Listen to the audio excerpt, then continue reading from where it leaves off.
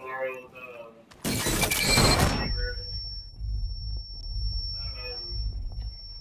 yeah, the first one, and then.